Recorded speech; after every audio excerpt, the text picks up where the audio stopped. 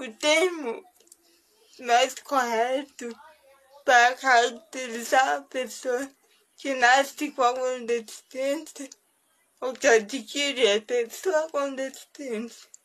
Porque a pessoa vem antes da sua deficiência. Eu sempre preferi que me chamassem de deficiente.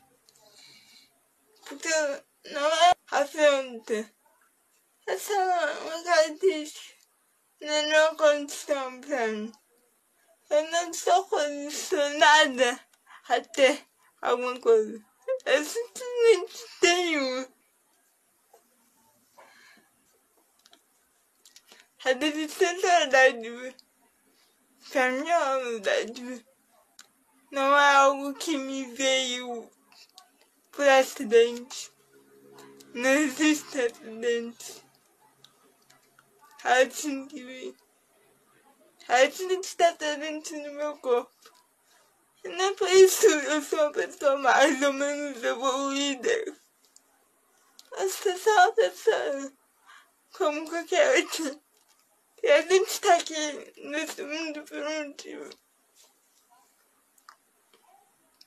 E esse motivo é aprender e ensinar.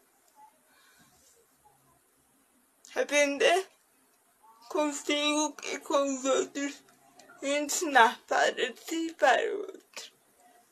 Creio que é esse o sentido de estarmos aqui. Se estamos aqui e não aprendemos conosco, de que adianta estarmos aqui? A deficiência não é o mal, é simplesmente uma característica.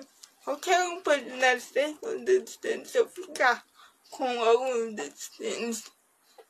Tudo bem ou tudo mal vem do que você faz com o que você tem. O que você tem é o que você tem, não importa.